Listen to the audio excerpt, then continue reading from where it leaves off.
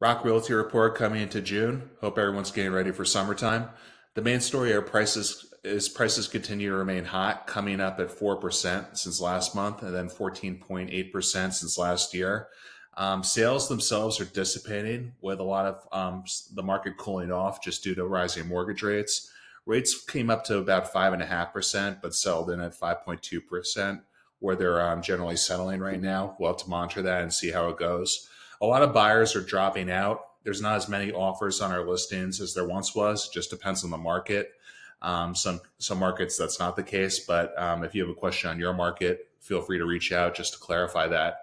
But um, we're seeing the buyers kind of feel the heat with the rates now that the rates are up in the five percent range, and in some cases uh, going a lot higher.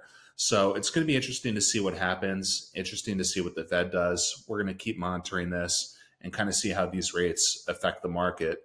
What we are seeing is a lot of adjustable rate mortgages come back. Come back. They're also known as ARMs. Those hold for about seven years. They're generally uh, speaking at a much lower rate than the average conventional mortgage. It's a great option for a lot of people that um, want to get a lower rate, may not be, uh, be wanting to pay a higher down payment. Um, a lot of great places like Hoboken, Hudson County, when the average hold time is five to seven years, it's a great option for that too.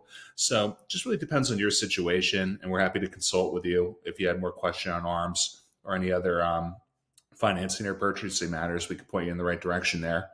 Um, inventory itself is up about 10.4% since last month. So a lot of buyers that were patient may be seeing more choices come up pretty soon and um, ones that are worth waiting for.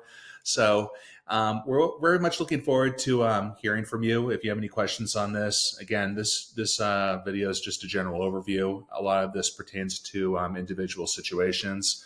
Uh, so feel free to reply, reach out. Uh, our phone number is below, and we can um, just answer any of your questions further.